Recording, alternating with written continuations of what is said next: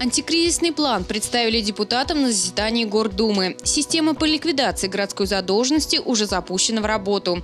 В первую очередь была проведена ревизия средств администрации за прошлый год. И в итоге из почти 2 миллиардов рублей долга на 1 января к сегодняшнему дню осталось около 630 миллионов. Благодаря работе по оптимизации расходов и увеличению доходов администрация уже получила свыше 900 миллионов рублей дополнительных средств.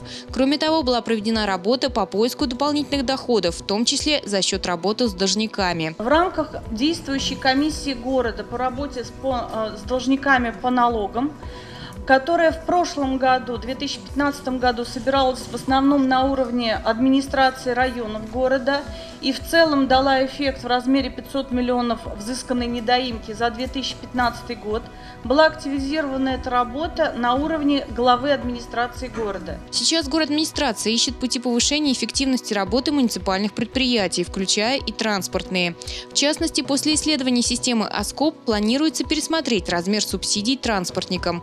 Программа повышения эффективности затронет и саму городскую администрацию, чья структура будет изменена и пересмотрена арендная плата за использование муниципальной собственности. Я думаю, что в течение 2016 года будет наведен порядок по всей и бюджетной сфере, и в экономической, и на будущий год, в 2017 году, мы постараемся выйти по нулям, чтобы все деньги, которые будут в бюджете, и доходные, налоговые, и неналоговые, запустить на развитие нашего города. Помимо этого, депутаты Гордумы на заседании согласовали увеличение доходов и расходов бюджета 2016 года почти на полмиллиарда рублей.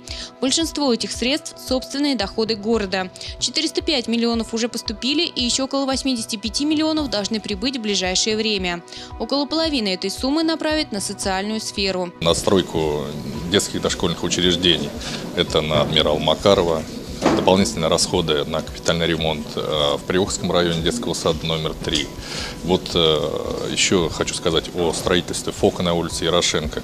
Вот эти все расходы, они сейчас э, учтены в бюджете. Также около 90 миллионов рублей потратит на расселение ветхого аварийного фонда.